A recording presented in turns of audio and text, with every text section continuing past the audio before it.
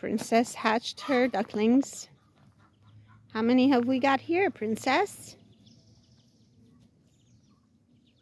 You know you can't keep them all, right? We'll have to find good homes for most of them. Congratulations, Princess.